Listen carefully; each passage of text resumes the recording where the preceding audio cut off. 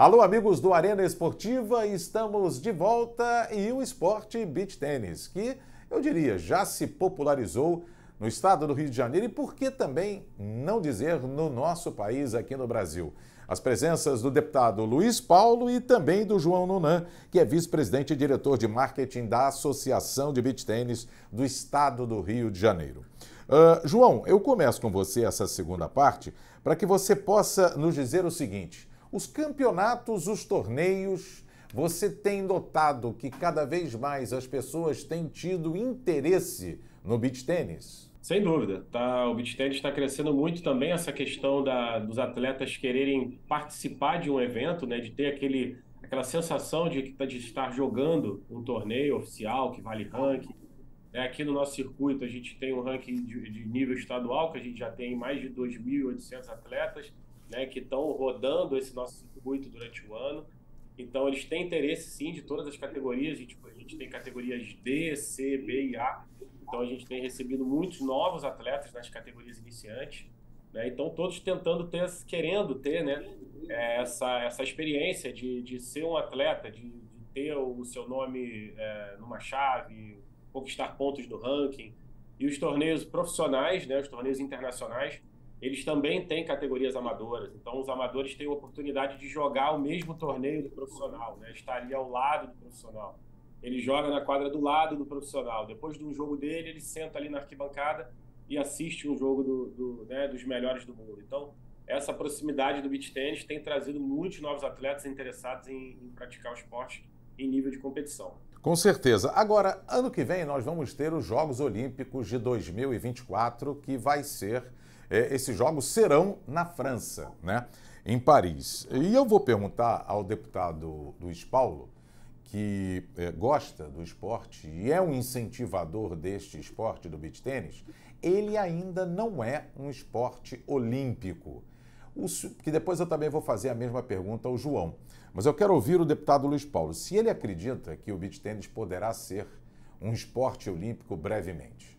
Olha, eu acredito que sim para você se tornar um esporte olímpico, você precisa né, ter um nível de organização mundial nesse esporte.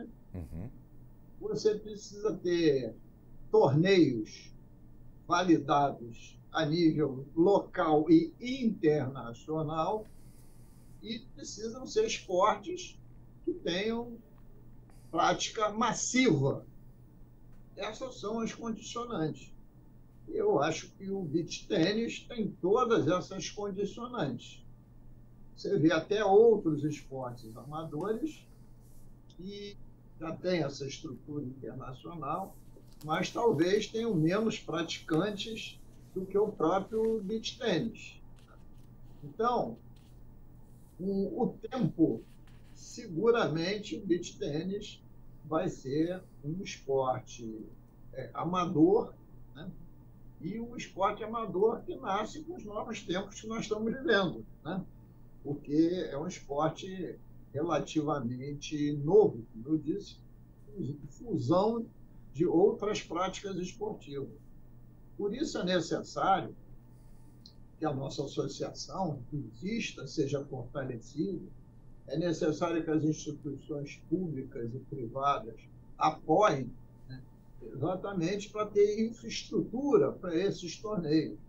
Quando aqui de brincadeira falei, se você tivesse infraestrutura do Leme até o Recreio dos Bandeirantes, né, mas não é só infraestrutura de redes, bolas, né, para isso.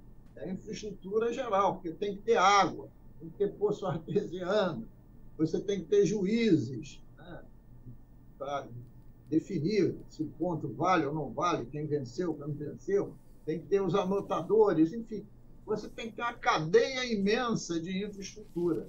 Mas eu acho que o beach tênis caminha a passos largos para se tornar um esporte olímpico. Até porque é exatamente essa pergunta que eu ia fazer ao nosso João Paulo. Né? O João Paulo foi campeão de duplas, foi campeão mundial. Né? Um esporte que tem um domínio total na Itália. Uhum.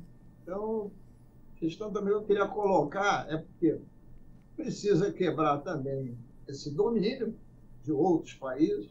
Se o Brasil está bem ranqueado para isso, e se tem outros países também emergindo com essa prática do beach tênis, emergindo com bastante intensidade.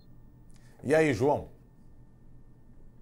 Tem, né? Atualmente o Brasil é uma da com certeza é uma das potências do beach tennis, né? A Itália é, tem muitos bons jogadores ainda, mas, mas já tivemos brasileiros que conquistaram o número um do mundo, então já não é já não é uma, uma, uma coisa não é uma não é distante. Já tivemos mulheres também, né? No, na, no ranking feminino, já três brasileiras já conseguiram quatro, na verdade, já conseguiram ser número um do mundo. No masculino tivemos também vários atletas que conseguiram ser número um. É, atualmente, a Espanha e a França também estão com atletas de muita qualidade. E a, na Venezuela também, aqui perto, também tem atletas de muita qualidade. Então, o beach tennis está tá disseminando rápido. Também tem na Rússia, por exemplo, também tem um atleta muito forte de, é, de lá. Então, acredito que o beach tennis assim está sem fronteiras. Estão estão aparecendo novos atletas de outros países tá, e, e muitos atletas provenientes do tênis, profissionais do tênis, estão ali migrando para o beach tênis também. É, você fala sobre isso, né? O beach tênis em alto nível com esses países que você citou. Mas existe já alguma conversa para, por exemplo, a gente sabe que para o ano que vem não existe a menor possibilidade, até porque os Jogos Olímpicos de Paris estão aí, batendo a porta né, para 2024. Mas existe já conversa para que ele possa vir a se tornar uh, um esporte olímpico, João? É, uma esperança que a gente teve é que em 2019 né, foi, é, foi desenvolvido o ANOC, que é, o, é como se fosse uma Olimpíada de Esporte de Praia, né, uhum. organizado pelo próprio Comitê Olímpico Internacional.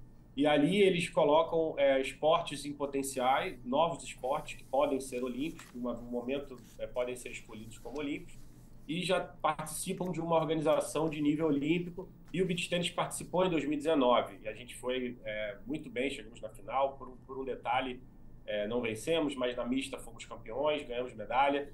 Então é, já é uma prévia, digamos assim, da possibilidade do, do beach tennis vir a, a se tornar olímpico. Em 2023 estava marcado para a próxima edição, que é de 4 em 4 anos, igual a Olimpíada. Então já está participando desse desse ANOC, né, que é da Olimpíada Mundial, da Olimpíada de Esporte de Praia, já é um passo muito importante. E o importante agora é disseminar cada vez mais mais países praticantes. E isso vai cada vez mais abrindo abrindo chances para o beach tennis se tornar olímpico. A estrutura, digamos assim, seria semelhante à do vôlei de praia, né? Digamos que é, uma Olimpíada montando ali aquela arena de vôlei de praia, ela poderia ser utilizada também para o beach tennis, porque as dimensões são parecidas. Então, acredito que a parte de estrutura eles poderiam ter uma, uma, uma, uma certa facilidade para poder atender o beach tennis. Então, vamos continuar trabalhando e torcer para o beach tennis um dia chegar nesse nível e a gente é, vai ter medalha para o Brasil, com certeza. Deputado Luiz Paulo, eu estudei em dois colégios é, públicos aqui no Rio de Janeiro. Primeiro foi quando, no antigo primário, eu fiz todo o meu antigo primário na Escola Prudente de Moraes, que fica na rua Enes de Souza, na Tijuca ali bem pertinho da Praça Sans Penha. E o segundo, no antigo científico, né?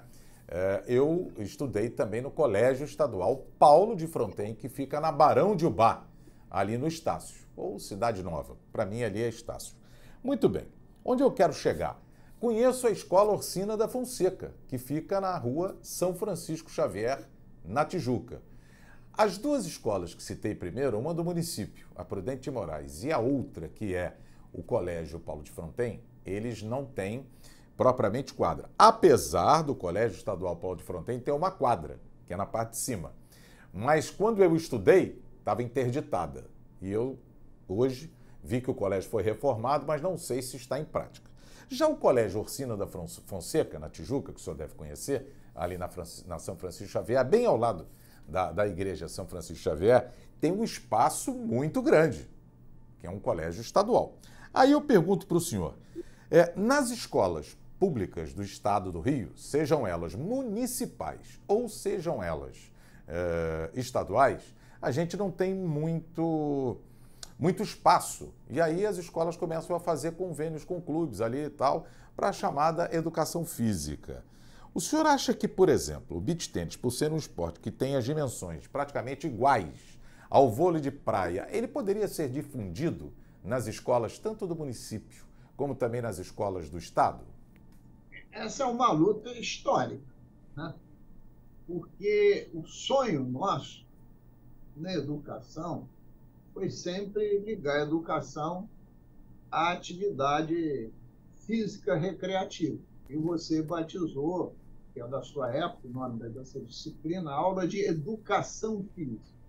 Exato. E o ideal era que toda escola tivesse uma, um espaço para isso. Né? Uma quadra poliesportiva e também espaços né, em quadras de areia. Mas isso é um sonho, é uma utopia. A gente sabe que as escolas não têm esse espaço. A gente vai contar a dedo. Aí se derivou da possibilidade de você conveniar as escolas públicas, quer sejam municipais ou estaduais, com os clubes, para trabalhar com os clubes é, no período que eles estão mais vazios, que é o dia de semana. Né? Isso, isso. Através desses convênios. E em alguns momentos dá certo e outros não. Então, eu acho muito difícil né, você querer fazer a difusão do beach tênis através de espaço em escola pública. Evidentemente, se uma ou outra puder, é ótimo. Eu acho que essa capilaridade aqui no nosso estado e município vai se dar primeiro via os clubes.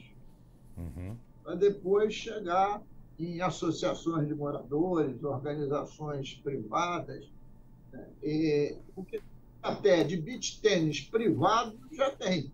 Sim.